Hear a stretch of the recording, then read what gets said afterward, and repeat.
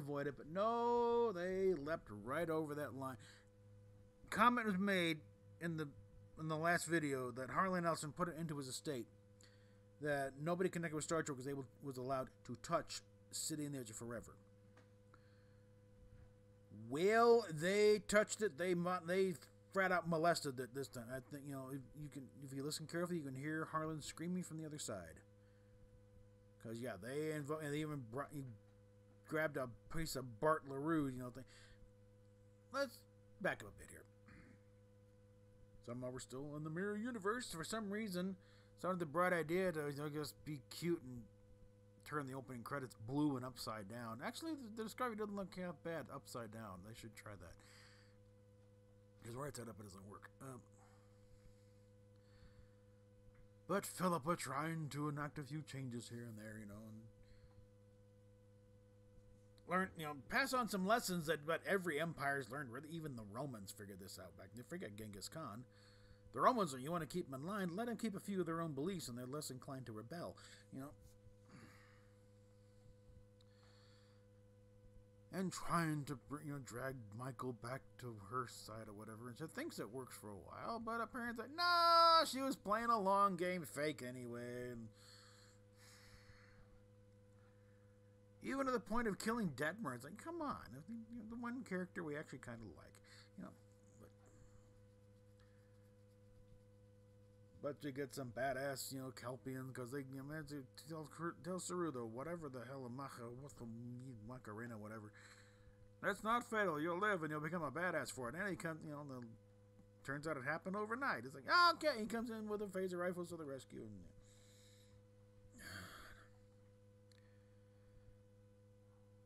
I mean, it, it, was fun watching Michael get thrown around and beat up and tossed in the agony booth and finally run through. That was, that was enjoyable, actually, because that character is so despicable. You know, even if it was the Mirror Universe version, you can just beat the living shit out. You know, and I was thinking the whole thing. It's like even this character should know better. You get in Philippa Georgiou, and uh, you know, even you know, putting Michelle Yeoh uh, uh, aside from it, you get Philippa Georgiou, who is a pretty accomplished fighter in her own right. You go right in her face with a phaser you go to Hollywood, it's you know, she is going to take that phaser and shove it up your ass, okay? Before you even know what's happening. So it's like, come on. Even this idiot, you know, Michael should know better. But no, you gotta get, you know, some.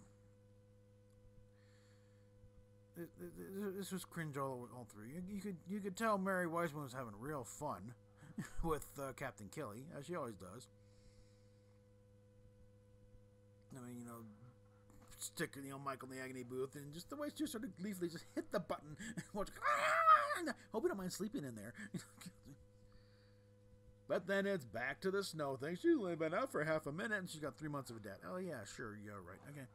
And then the big reveal where they're what are you? And they go on, you know, and suddenly Lieutenant Brass turns out, I am the guardian of forever, and you know the big Bart LaRue voice, and the door appears, and you get like a enlarged version. It was like twice, at least twice the size of the original prop of the Guardian. Looking a little more wear for tear, with a little bit is more of a Stargate type look in there instead of the smoke coming down and newsreel footage. And that is, of course, now where they officially broke the Star Trek universe, at least as far as their end of it goes. Because, like I said, you know, where it was pointed out, you know, and I'd like some confirmation of this, but apparently it was put in Harlan Ellison's will do not let Star Trek touch sit in the edge of because he had there have been over the years a lot of writers had wanted to revisit the Guardian and reuse it for all kinds of things, and he blocked them all the damn time. The, the only one that got through was Yesteryear by Dorothy Fontana, and that's because Harlan and Dorothy liked you know he liked Dorothy, he respected her, and you know he was gonna. And the Guardian, where there wasn't a big part of the story so much, so the, it wasn't a big deal the way they did that. It was more of a, it was just a vehicle to get Spock back, and that was the main story. I don't know what that says in my hand. I about that, but this one again it's another case where I don't think they even watched the episode. And they also certainly know nothing about the history of this episode regarding Harlan Ellison and the rest of Star Trek because even then, you know, just the whole production thing, and it's like, you know, with when he found out that John D.F. Black had done the first rewrite. And Harlan's reaction was to fashion a little hangman's noose hanging just outside, because Gene Roddenberry's office, he had an outer office where the, where the secretary was, and then the inner office where Gene was, with the door. And Harlan finished a little hangman's noose, hang, had it hanging right outside the door. And so, open the door, point to the news, tell me someone didn't touch my words. you yeah, Harlan Ellison, you do not rewrite Harlan Ellison. You do not touch a Harlan Ellison story without his express you know, blessing, lest you invoke the, the fires of hell raining down upon your pointy little head. Even with him gone, I am sure he has put legal things in place. So, yeah, I expect by Monday a lawsuit to be filed against Star Trek Discovery and CBS, you know, All Access and Viacom CBS about them violating his script again because he really did. He still he had a very deep attachment to the original draft of the script. He wished the hell he could have brought like Trooper and other characters in there. And I think he also cause he had a tendency of people that you know wronged him in the past, going back to childhood bullies, and turn use them as bullies and you know, villains in his stories and giving them just desert punishment.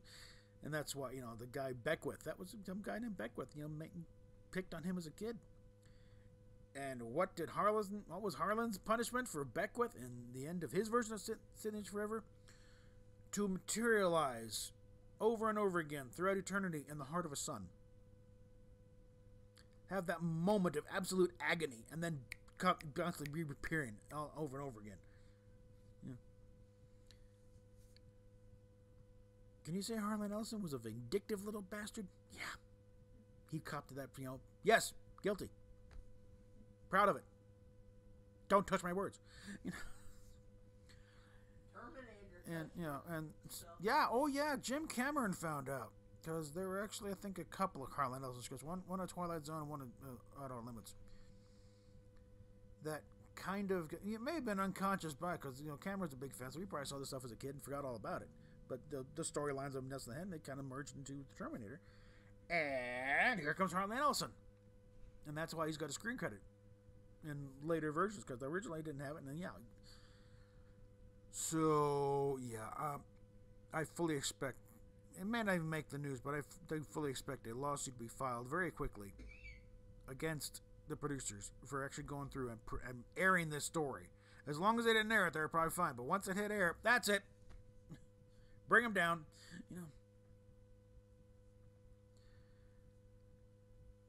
you know, there's also the, the, on the nitpicky side, we should not accept because it totally screws up the Guardian. This, you know, it says right there, I was made to function this way. I cannot change. And who the hell's going to try and fix this thing? Okay, the, the, the, technology of that sucker is so far beyond anybody. I don't care if you're a thousand feet, you're still not going to be able to know the barest workings of this thing.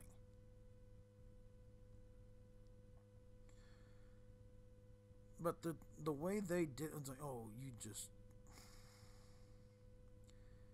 like I said, they, they didn't just alter the whole concept behind with, with, with the city with the guardian there they bent it over a barrel and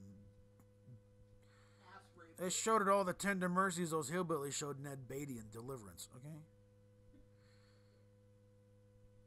the only thing it didn't do is make it squeal like a pig okay so yeah. And it's still not over. There's still another episode or two to go on this nonsense. But yes, the Trek apocalypse has now occurred. They have broken the universe.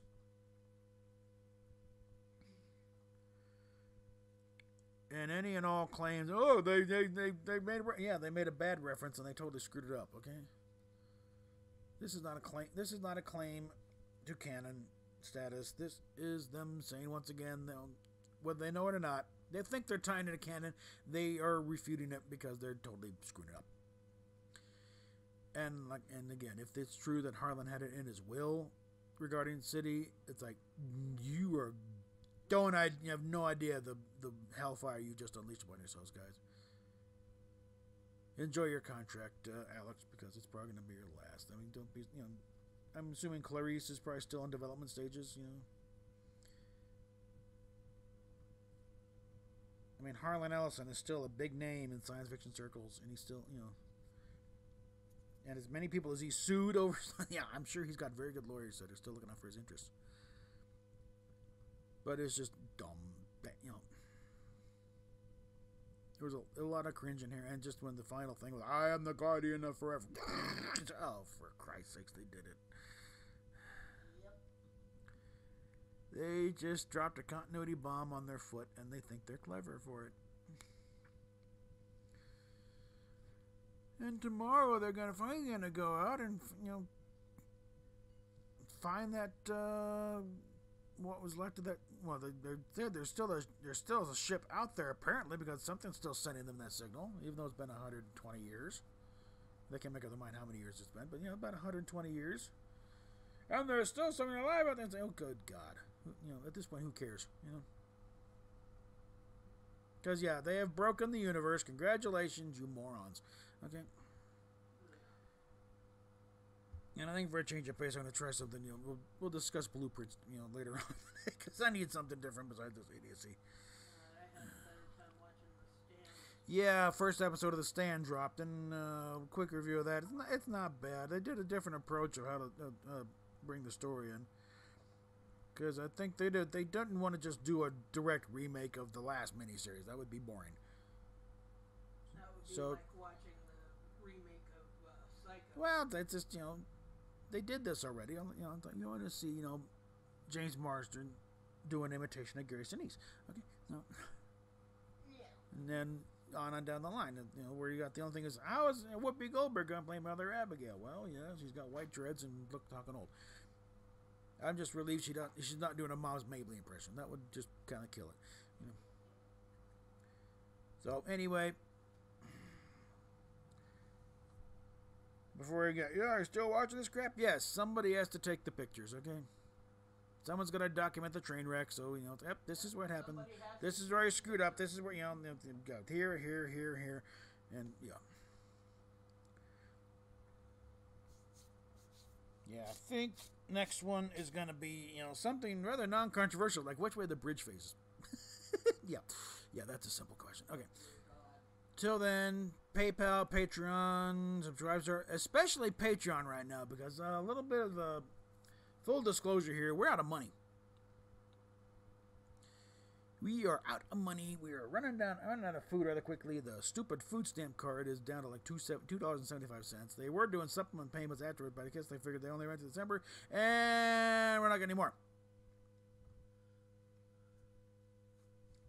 And we're still we're still working a few angles to try and get a waiver to get stick in here a little longer. Otherwise, we're really screwed. But uh, we got a, we got enough things in the, in the pipeline and trying to work out here. You know, like you know, a couple of our doctors trying to send notes to the VA because the thing, you know, again, just long story short, the agency we're working with, they're putting us up in here has telling all the vets, unless you get a waiver, you know, unless you get a, a waiver or something from the VA saying we cannot physically or mentally go into a shelter, then everyone's out. Apparently, funding cuts or whatever. So we're trying to get the waiver for one thing, and also working on other income. Apparently, I've been approved to become Steph's live-in health care giver, or something or other, which means you know some compensation and they estimate we haven't got any hard numbers there, but we give an estimate of just under five bucks an hour, or you know, five bucks every 15 minutes, which translates to you know, that's four, four, 20 bucks an hour. And we figure I probably spend about you know four or five hours a day doing this kind of thing, so that's about you know. 30 that's 30 hour well because it's a seven day an hour thing you know seven day a week thing. Mm-hmm. so it's you know comes to about 30 hours a week. About 20 bucks an hour Hello.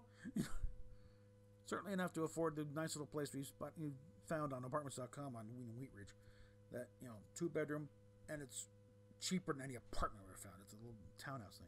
I'm not going to give the location because I don't want somebody else snatching it. But it would solve so many problems if we can just, you know, get past all these what I see is, frankly, arbitrary time limits that cut us off in the knees every damn time. Go back to the videos. Every time we start to get something going, somebody comes in, you have to now. Like, what? this is going to take a couple weeks. Not you know, like the whole thing started. We, you know, had till the end of the week to get it, you know, the, to find a place. Know, it's in Lovely's sister and her husband knew damn well you cannot find a place in in any even better you know, situations in a less than a week. it takes a while just to apply and get approved and everything yada yada yada. It's like no, no, no, no. no. So this, uh, let's just say I've learned to really detest arbitrary time, you know, time limits. So, but anyway, that's where we're at right now. So hit the PayPal and the links are down below. PayPal especially. We need some cash right now to get just to get some damn food. Okay, because we're really starting to run out here. I thought I had some milk for a cup of tea last night. Nope, it's all curdled now. It's, there wasn't much left anyway. Maybe that much. And I'm talking about making mac and cheese with government cheese. Yeah, we're talking. You know, it's a mac and cheese one to. We got a couple blocks of government cheese in there. Like, frankly, I'm still you know we got some pork chops to frost and we go there and get the cans of veggies we've been sitting on for a while. But like, yeah, the, the, the reserves are not going to last long at all. We need to get some money and we get some food. I'm not saying gas money because uh, the Explorer, of course, is still dead. And wherever we go, we're going to drag it along behind us. I'm pretty sure they're not going to let us camp out in the parking lot if they get booted. So, enough of that. We're still working on that. We're you know, so we got various things on the fire to keep it going, but we need a little infusion of funding to keep things going. And for some reason, it's, it's dried up lately. I'm, I'm a little mystified of that because used to be, you know, the Patreon was okay and the cafe press was. I'm like, this is, gonna, this is about the dovetail and discussion on the shutdowns and how they affect the economy and everything goes down, even down to this level. It's like you know what were reliable funding sources are now just gone. so, give, give generously, give it hurts. Okay, we'll talk at you later. Bye.